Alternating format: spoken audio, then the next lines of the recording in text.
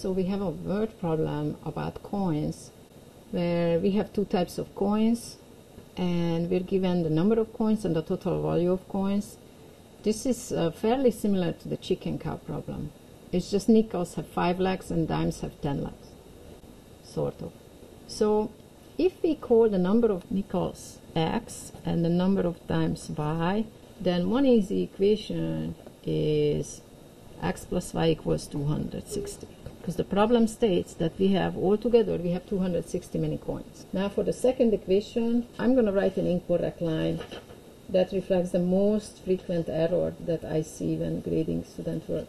This is going to be incorrect. So the total value of all coins in the jar is $20.25. 5x plus 10y equals to 20.25. So this is the most frequently seen error. Here is the problem. Every nickel is worth 5 cents. So if you say 5x, then the left-hand side is expressing the number of cents, but the right-hand side is measured in dollars. So we have two options. Either let's think in pennies. Then we have, well, a nickel is worth 5 pennies and X many will be worth 5X pennies. And the same way, each dime is worth 10 cents. And now that the left-hand side is expressed in pennies, we have to express the total value, which was given to be $20 and a quarter, in pennies, which is just 2025. That is one option.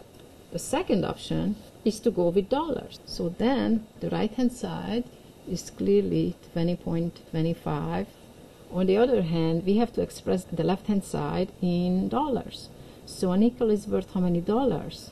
0.05, 5 hundredths, right? 5 pennies.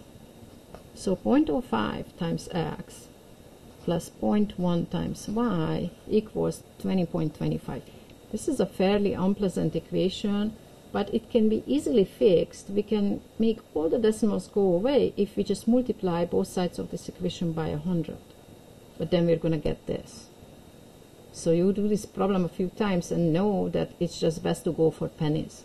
So if we are going to run with this equation and x plus y equals 260, then we have this system to solve. Similarly to the chicken cow problem, if you investigate, the first equation can be simplified because every single coefficient is divisible by 5. And once we divide it by 5, what are we going to get? So we're going to divide the first equation by 5. So then we're going to get x plus 2y so I'm getting 405 for the other side.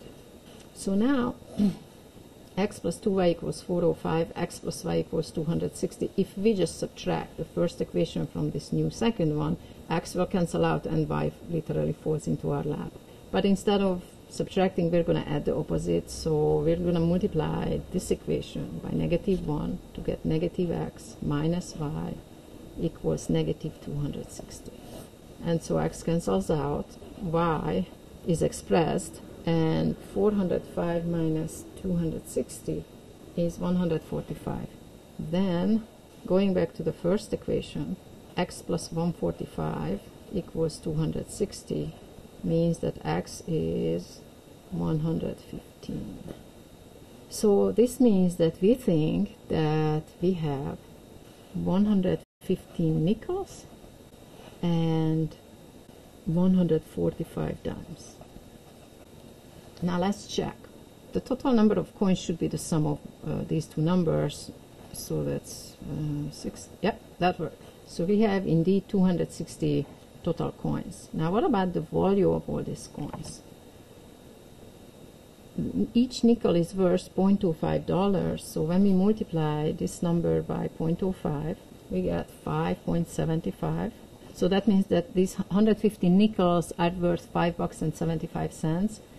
And the dimes, well, you just have to divide by 10, which means uh, we have $14.5 worth of dimes. And so when we add these two up, that would be the total value of all coins, and we get the right amount. So our answer is that we have 115 nickels and 145 dimes. Thank you for watching.